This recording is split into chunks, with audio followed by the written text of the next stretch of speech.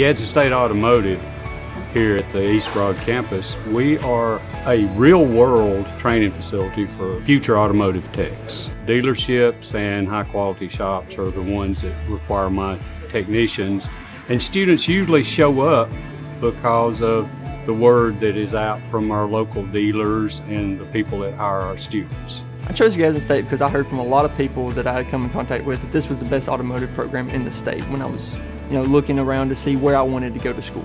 It's been amazing. I absolutely love it here. I actually started in welding, decided I wanted to find another trade, um, and came over here because I'm kind of like a third generation car person. I've always loved cars. Um, so I came over here to learn a little bit more than what I knew and ended up loving it. I chose Gadsden State because um, of the um, affordability and how it's um, local for me. These co-workers and friends, they are, they help each other, you know. If we all know one thing, they know. We're just like a group right there. It's like a learning experience here. Always, every day the learning experience.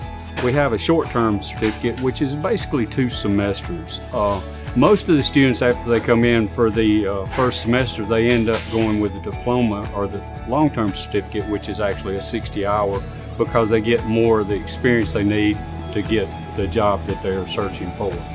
Right now, I'm employed at Ronnie Watkins Ford. Um, I just went full time, um, so still learning a little bit of stuff there, learning how you know it works in the real world um, versus in the shop. Find what you want to do.